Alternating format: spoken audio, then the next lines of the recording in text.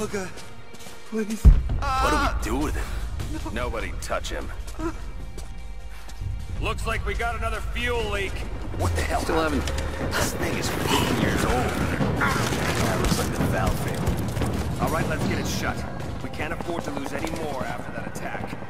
Okay, I got this. Hold that part steady. Just need some more leverage. Damn it. Stripped. You want to give me a hand?